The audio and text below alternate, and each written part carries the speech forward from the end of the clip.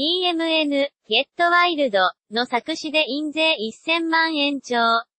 小室光子が語る小室哲也との関係小泉孝太郎の KY 刑事が再び。